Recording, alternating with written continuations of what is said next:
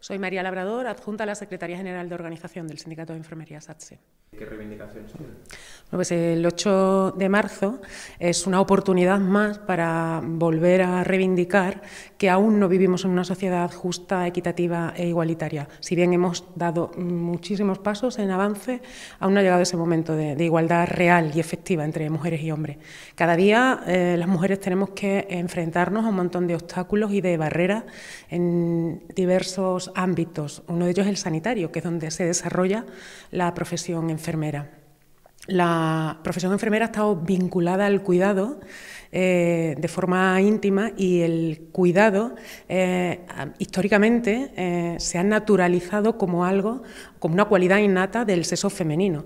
Entendemos que desde el Sindicato de Enfermería eso ha hecho que el cuidado haya estado invisibilizado, infravalorado y estamos apostando por poner en el centro de la sociedad el valor del cuidado.